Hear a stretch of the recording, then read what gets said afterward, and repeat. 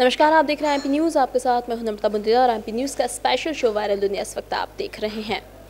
देश की सरकार शिक्षा की गुणवत्ता को सुधारने के लिए तरह तरह के प्रयास करती रहती है। हर बार एक नया कदम शिक्षा में सुधार के लिए करती आ रही है। लेकिन आज भी प्रदेश की अगर हम बात करें तो प्रदेश में भी कई ग्रामीण ज़िले ऐसे हैं जहाँ पर आज भी शिक्षा की व्यवस्था नहीं सुधर पाई है। गुणवत्ता में कोई सुधार नहीं हो पाया है। सिर्फ़ मध्य प्रदेश नहीं, बल्कि राजस्थान या अन्य किसी जिलों के भी हम बात करें, अन्य किसी राज्यों की भी हम बात करें तो वहाँ पर भी शिक्षा का स्तर सही तो है, लेकिन अभी न कभी ना कहीं ग्रामीण जिलों में ये शिक्षा का स्तर अभी भी निचला ही नज़र आता है। वहाँ पर बच्चों को वो सुविधाएँ नहीं मिल पाती हैं, वो शिक्षा नहीं मिल पाती हैं, जिनके वो हकदार हैं। और वायरल दुनिया में आज हम एक ऐसा ही वीडियो आपके लिए लेकर आए हैं, जिसमें शिक्षकों का एक प्रशिक्षण शिविर चल रहा था।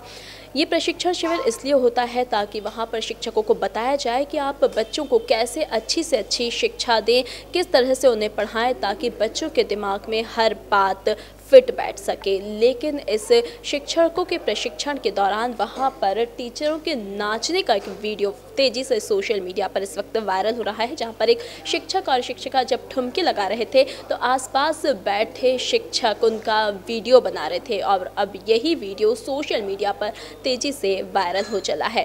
खैर, ये तो है बात राजस्थान के जालौर की, जहाँ पर ये वीडियो तो वायरल हो रहा है शिक्षकों की कार्यशाला का, लेकिन इसके साथ साथ ही अगर हम देश की शिक्षा प्रणाली की बात करें तो वहाँ पर भी अब इतना सुधार नहीं हो सका है। खास तौर से ग्रामीण क्षेत्रों में अभी भी शिक्षा व्यवस्था की स्थिति बहुत ही बिगड़ी हुई है। कहीं कहीं तो ऐसी भी खबरें आती हैं जहाँ मध्यान्ह भोजन के नाम पर बच्चों को भोजन ही नहीं दिया जाता है, क्योंकि सरकार द्वारा ऐसी व्यवस्था कब से ही शुरू की गई है? सालों से ऐसी व्यवस्था है कि बच्चों को जो सरकारी स्कूल हैं खासतौर से वहाँ पर मध्यान्ह भोजन बच्चों को दिया जाएगा, जिसके लिए बच्चे इसी लालच में भी स्कूल जाते हैं कि मध्यान्ह भोजन हमें वहाँ पर अच्छा मिलेगा, लेकिन मध्यान्ह भोजन भी वहाँ पर अच्छा नहीं दिया जाता है। और कहीं कहीं तो मध्यान्ह भोजन दिया ही नहीं जाता है। जो उनके पैसे होते हैं, वो भी बीच में ही खाए जाते हैं और बच्चों तक ये मध्यान्ह भोजन भी नहीं पहुँच पाता है। साथ ही शिक्षा की जो व्यवस्थाएँ हैं, जो सुधार हैं, वो भी स्कूलों में नहीं पहुँच पाते हैं।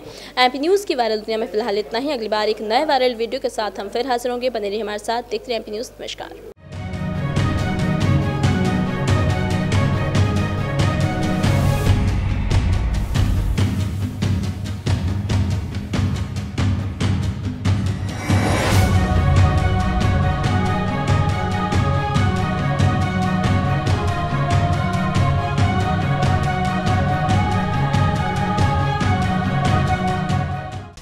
एमपी की नब्स एमपी का हाल। मध्य प्रदेश की हर खबर एमपी न्यूज़ टीवी के साथ। लगातार खबरों के लिए सब्सक्राइब करें हमारा YouTube channel MP news TV latest updates के लिए बेल आइकन दबाना जरा भी न भूलें।